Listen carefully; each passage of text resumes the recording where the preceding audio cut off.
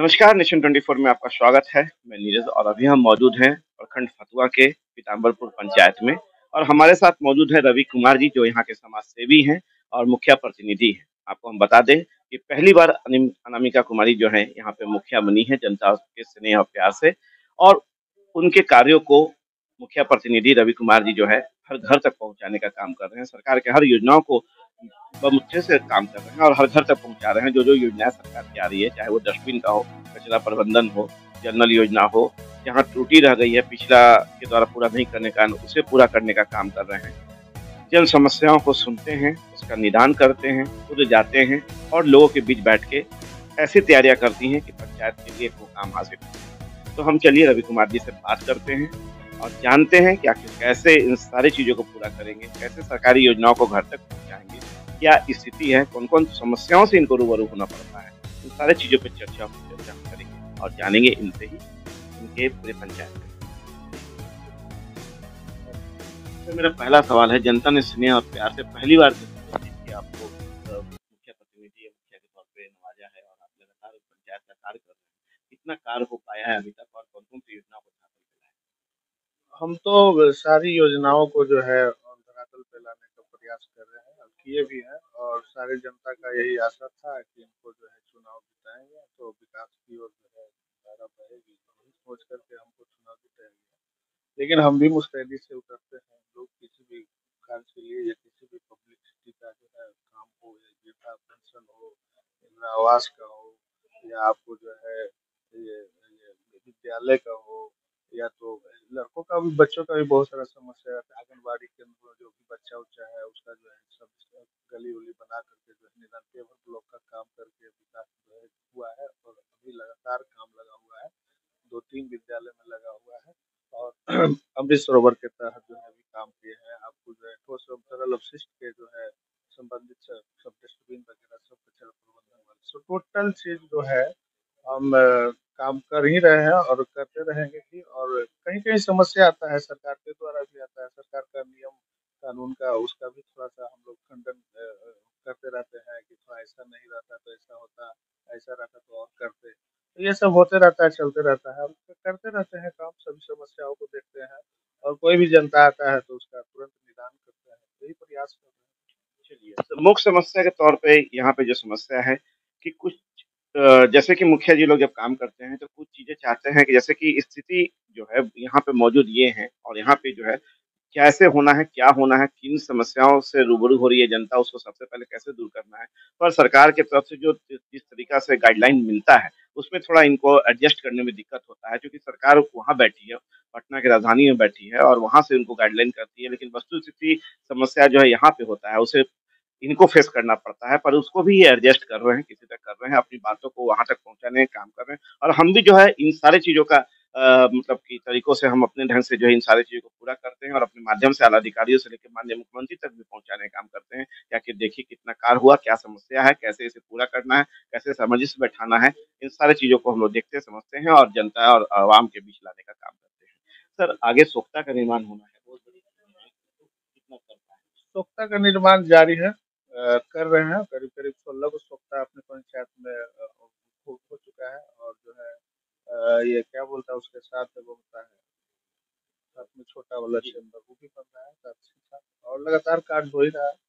कि वो बारी बारी से हर वार्ड में तीन गो का गली नली में भी काम गली नली में दस बारह दस दस गली को कंप्लीट किए हैं अपने रीजन में और जो है बहुत सारा समस्या है कि देखिए अब जो पूर्व में क्या था, नहीं था, वो बढ़िया से हैंडल नहीं कर पाए, वो तो कमी रह ही गया है। तो उतना कमी जो है, अब हम ही को देखना पड़ रहा है।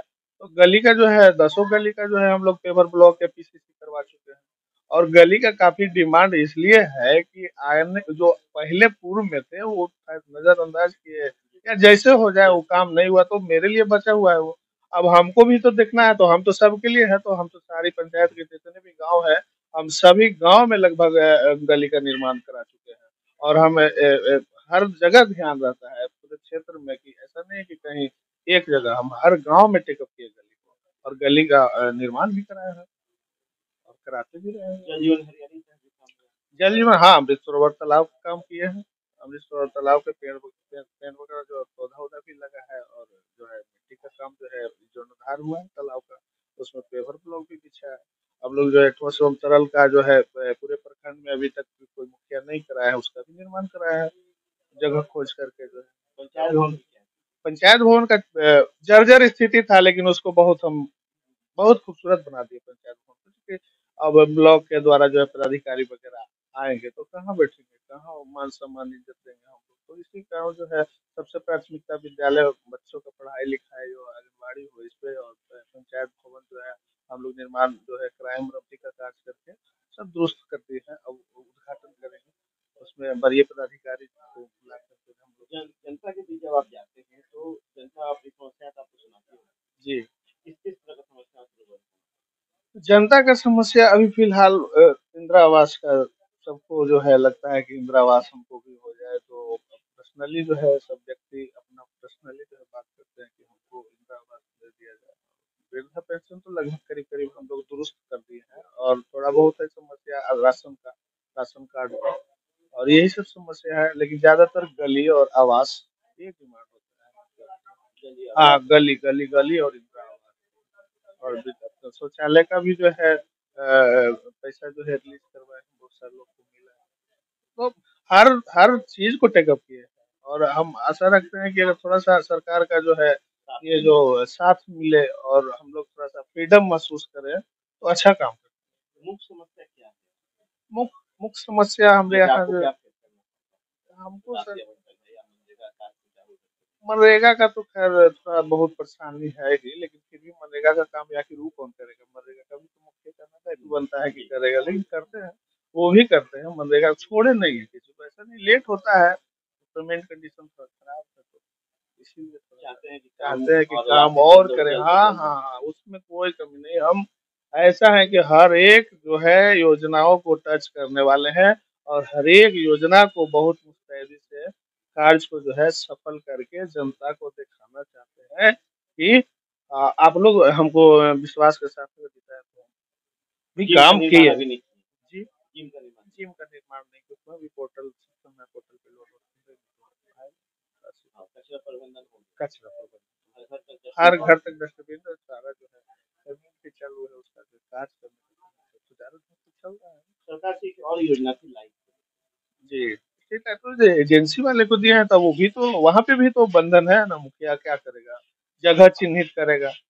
जगह चिन्हित के अलावा तो कुछ है नहीं तो सब ऊपर ही से हो रहा है काम तो बहुत सारे जो है सरकार अपने स्तर से करवा रहे हैं काम तो खैर मुखिया का तो यहाँ पे दिक्कत होगा ही समस्या तो है समस्या है। तो समस्या है तो जनता से झेलेगा कौन मुखिया झेलेगा?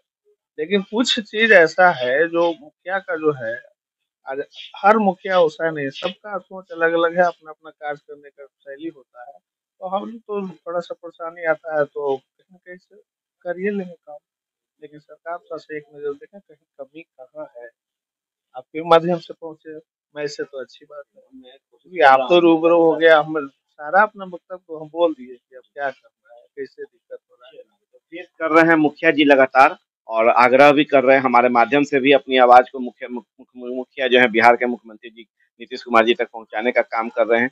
यदि सरकार का साथ सामंजस्य, यदि बेहतर ढंग से यदि मिले, राशि आवंटन में जो लंबा समय छह महीना साल भर लग जाता है किसी योजना का, उसमें भी यदि सहूलियत मिले तो कहीं ना कहीं कार्य को और युद्ध स्तर पे किया जा सकता है, बेहतर किया जा सकता है। पंचायत में बेहतर विकास को ज़मीन पे लाया जा सकता है, जो कागज़ी घोड़े दौड़ रहे हैं। उसको बंद किया जा सकता है और वो सारे चीज़ें जो है ज़मीन पे आने के बाद जो है एक बेहतर पंचायत, आदर्श पंचायत, स्वस्थ और स्वस्थ पंचायत देखने को मिल सकता है। इनका ये आग्रह है, पर अभी जो स्थिति है उसके अनुसार ही ये कमर कसे हुए हैं, लगातार जनता के बीच जाते हैं, उनकी समस्याओं को सुनते हैं, उसे निदान करते हैं, हर योजनाओं को घर तक पहुँचा रहे हैं, चाहे वो सोखता हो, जनरल योजना हो, गली नली हो, कचरा प्रबंधन हो, प्रधानमंत्री हो, वृद्धावस्थ मतलब सारे योजनाएँ जो सरकार की चल रही है, इसलिए टच कर रहे हैं।